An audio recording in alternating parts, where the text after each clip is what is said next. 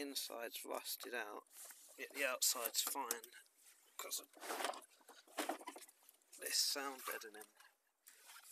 It just traps water in it and then it rusts from the inside out, which is just retarded.